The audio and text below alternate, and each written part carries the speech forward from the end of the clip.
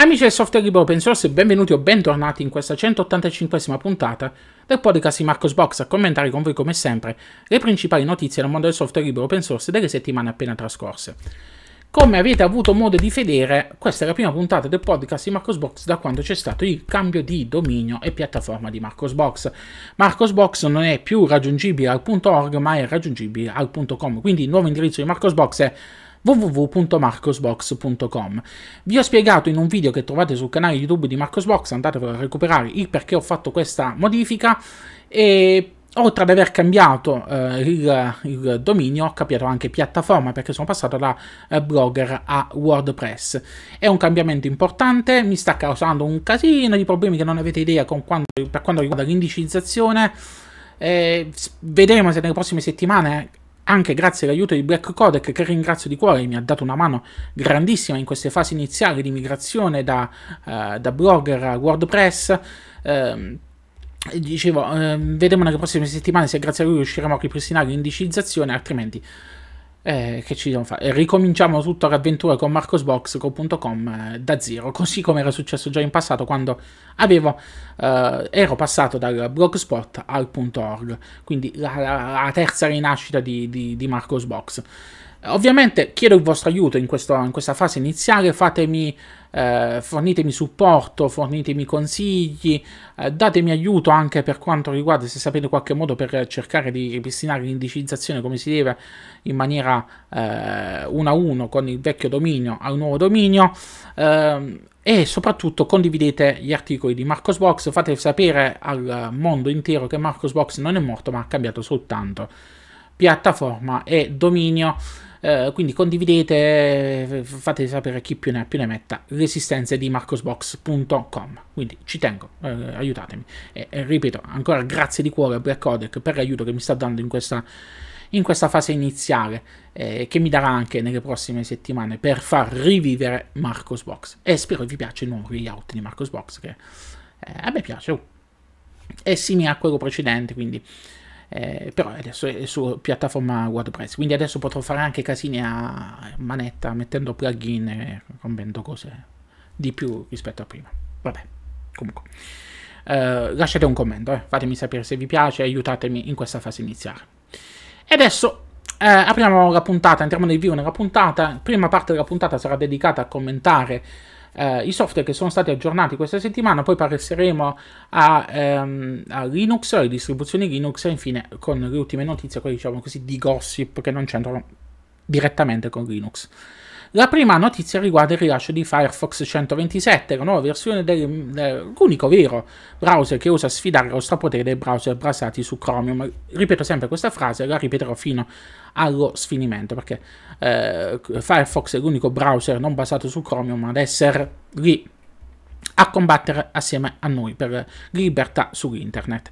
Questa nuova versione di Firefox eh, va a migliorare la sicurezza degli utenti, eh, c'è una riduzione del rilevamento del fingerprinting per gli utenti Linux nelle versioni X eh, a 32 bit di, di, di Firefox. Eh, funzionamento, per esempio, su Windows è stata aggiunta la possibilità di eh, avviare Firefox all'avvio automatico ogni volta che andiamo ad accendere il computer. Se attivate questa funzionalità su Windows sappiate che non siete miei amici perché io odio tutti quei software che si avviene in maniera automatica. Io conosco gente che fa avviare mezzo mondo di, di Windows e non capisco uh, l'utilità di fare una cosa del genere. Um, è stato completato il lavoro per l'ottimizzazione e l'abilitazione del prefetching DNS per i documenti HTTPS, eh, migliorata la funzionalità di chiudischede, migliorata, insomma, migliorata anche la funzionalità di screenshot di, di Firefox, quindi tanta carne al fuoco. Se avete eh, problemi con quest'ultima versione di Firefox e YouTube, però ehm, ci tengo a sottolineare una cosa, a farvi sapere che non siete i soli. C'è un bug attualmente in essere con Firefox e gli ultimi aggiornamenti che sono stati propinati da Google per la piattaforma YouTube. E um, nei prossimi giorni dovrebbe arrivare una minore release di Firefox che andrà a risolvere questo problema. Ci metterà un workaround, quindi abbiate pazienza ancora qualche altro giorno. E cambiamo eh, argomento, eh, cambiamo software e passiamo adesso a parlare di OnlyOffice Desktop Editors che giunge alla versione 8.1. OnlyOffice Desktop Editor è un de- praticamente una suite da ufficio gratuita, è multipiattaforma, è disponibile per Windows, macOS e Linux che io consiglio a tutti quegli utenti che cercano una alternativa a LibreOffice. Perché è interessante LibreOffice Desktop Editors? Perché oltre ad avere una interfaccia grafica eh, stile ribbon, quindi più facile per quegli utenti che si avvicinano per la prima volta al ad altre suite d'ufficio che non siano quelle proprietarie Microsoft, questa suite offre una migliore compatibilità con i formati proprietari Microsoft, quindi avrete meno problemi di eh, formattazione. E cosa molto interessante di questa nuova, questa nuova versione di OnlyOffice Desktop Editors è la funzionalità di modifica dei PDF che è stata aggiunta.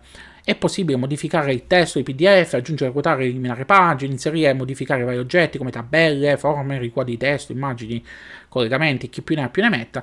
E quindi è una, una suite completa per l'utilizzo eh, ambito Office. Quindi se cercate una suite d'ufficio eh, basilare, perché sono soltanto tre applicativi, abbiamo un, eh, il word processor, abbiamo i fogli di calcolo e abbiamo le presentazioni, eh, però eh, abbiamo anche la funzionalità di modifica PDF, quindi se cercate una suite completa, minimale ma potente, fateci un pensierino, provate OreOffice Desktop Editors.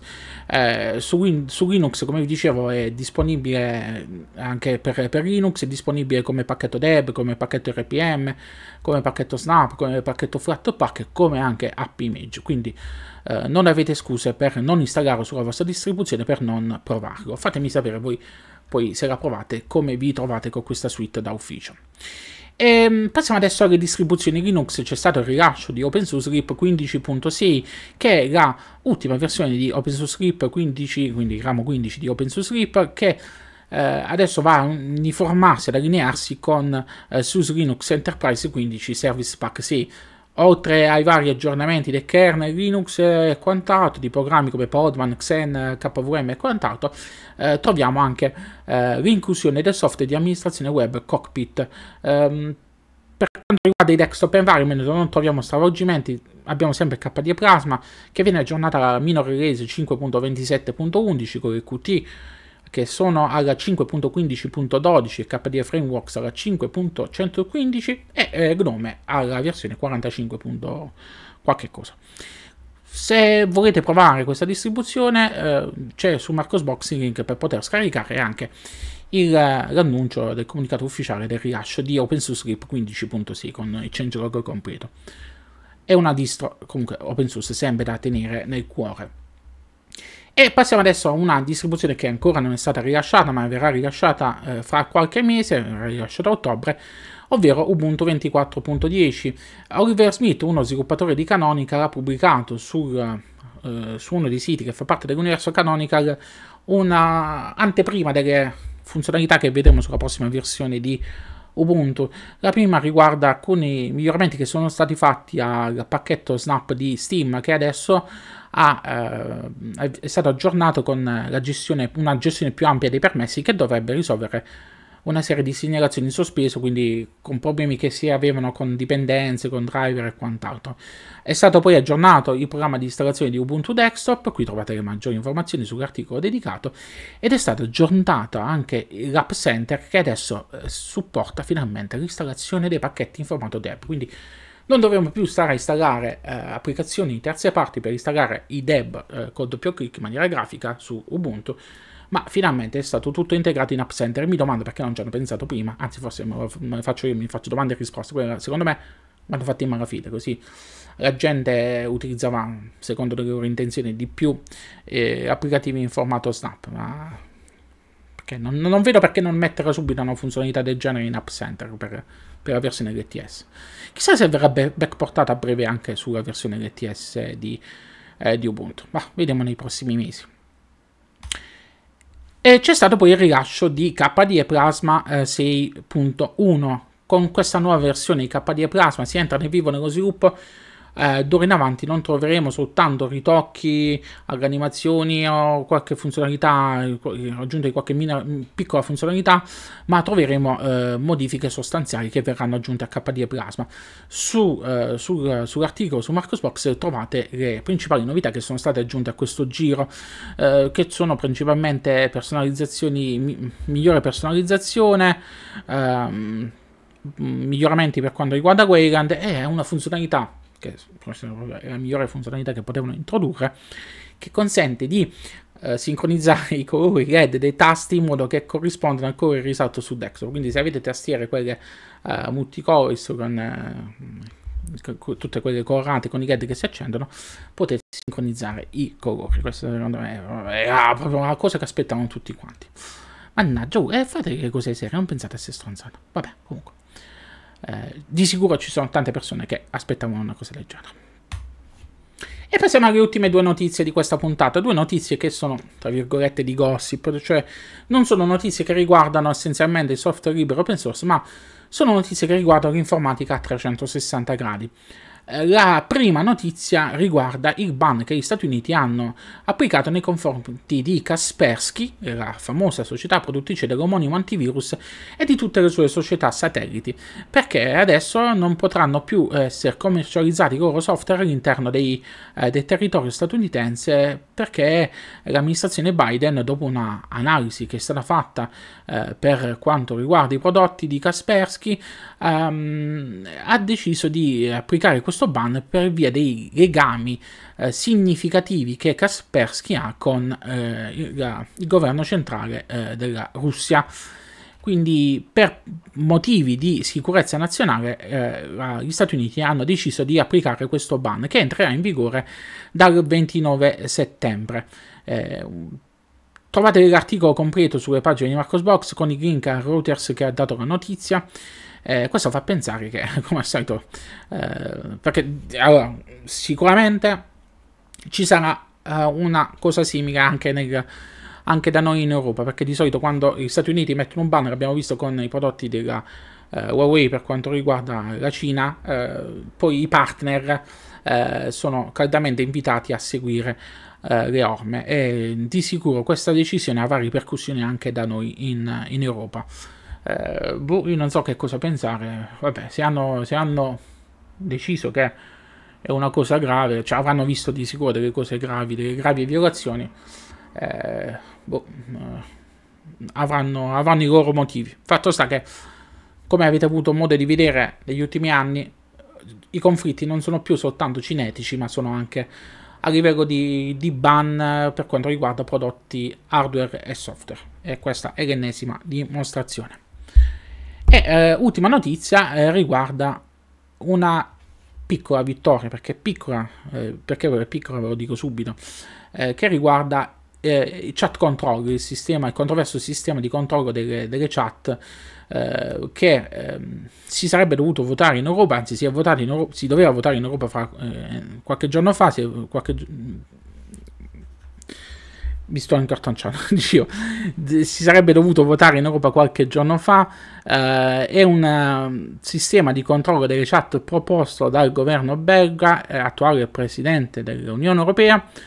Eh, fortunatamente ehm, la votazione non è stata fatta perché non si raggiunto il, la maggioranza di, di, di ufficiale poter una maggioranza sufficiente per poter approvare questa, questo grande occhio che uh, gli stati europei vogliono applicare sulle nostre chat e che metterà a rischio anche diversi applicativi uh, software. Signal si è schierato contro, ad esempio, su questa, uh, su questa direttiva.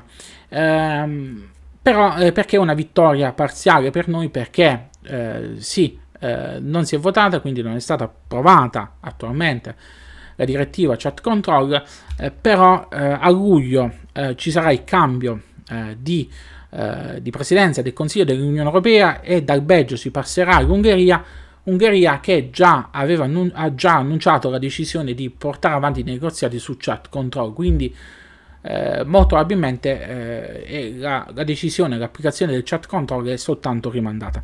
Quello che vi posso dire è che fortunatamente ci sono nazioni come la Germania che eh, voterà contro, c'è la Francia che mi sembra che forse ultimamente ha cambiato anche idea, ci sono diverse nazioni che si asterranno dal voto, speriamo che questa situazione di, di, di, non, di non visione orwelliana eh, da parte degli stati europei eh, riesca a boicottare questa, questa, questa cosa.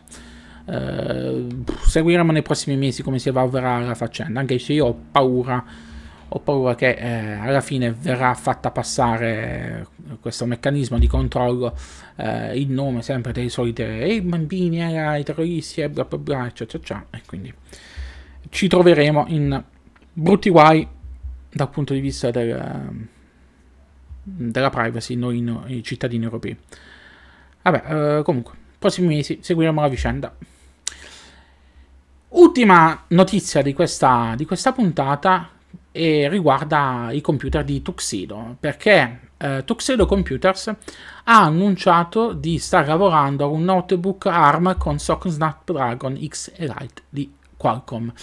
Eh, l'annuncio è stato dato direttamente da Tuxedo, era stato presentato anche alla, alla fiera dei computer eh, che c'è stata qualche, qualche settimana fa.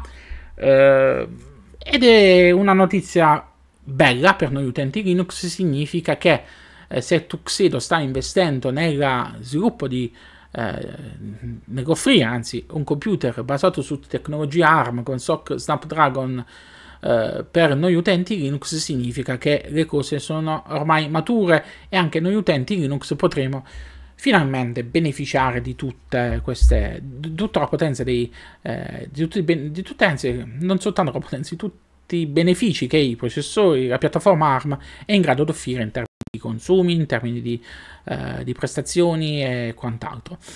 Um, questi, questa, questo nuovo prodotto verrà rilasciato, se tutto andrà bene, uh, verso, verso, dicembre, verso Natale. Uh, la, ci sono anche rassicurazioni da parte di, di, Tuxedo che ha deciso, cioè ha detto, scusate, che Qualcomm ha intenzione di supportare nel kernel Linux eh, questa piattaforma ARM eh, e verranno introdotte modifiche nel kernel Linux 6.8 e 6.9 per eh, far funzionare tutto correttamente, quindi eh, il futuro della piattaforma ARM per Linux è, è rosio. Non vedo l'ora di provare una cosa del genere. Poi tra, tra questo e la, i computer equipaggiati con i processori, anzi con la piattaforma Apple Silicon, eh, uh, sono finalmente per una volta noi utenti Linux non ci troviamo in arretrato rispetto agli altri. Beh, con questa ultima notizia si conclude qui questa 185esima puntata del podcast di Marcos Box. Io come sempre vi invito a seguirmi sui social, mi trovate su Facebook, X, YouTube, podcast tutti quanti eh, LinkedIn, Mastodon, Telegram, soprattutto su Telegram trovate tre canali, cioè il canale dedicato alle notizie, il canale dedicato alla community Telegram e eh, il canale dedicato alle offerte Telegram, quindi con i link affiliazioni Amazon per poter supportare il blog. Vi ricordo inoltre che potete abbonarvi anche a NordVPN utilizzando il mio codice referral e infine vi ricordo che è possibile um, acquistare computer uh, su uh, Reware, che è un, uh, una società italiana che commercializza computer ricondizionati, avendo un piccolo sconto per tutti quanti i lettori di Marcos Box. Se ci cliccate sul banner che trovate sulle pagine del, del blog di eh, faccio vedere, eh, tramite questo piccolo sconto eh, del, del, 5% fino al 30 giugno acquistando un computer avrete eh, un 5% di sconto appunto sul computer e potrete portarvi a casa un computer ricondizionato perfettamente compatibile con Linux, farete del bene al mondo intero, farete del bene alla natura, farete del bene anche alle vostre tasche. Eh, non è una cosa sponsorizzata che io ci guadagno, ma è una cosa che eh, come vi spiego nell'articolo, ho voluto fare un regalo che ho voluto fare a voi lettori di Marcos Box perché so che voi siete attenti a queste tematiche. Lunga vita e prosperità a tutti quanti, ci rivediamo la prossima settimana con la prossima puntata del podcast di Marcos Box. Spero di essere un po' più attivo la prossima settimana perché eh, questa settimana è andato un po' per tra il fatto del blog, casini a lavoro e quant'altro, quindi sono andato un po' lento. Spero di tornare a pieno regime la prossima settimana. Ciao ciao.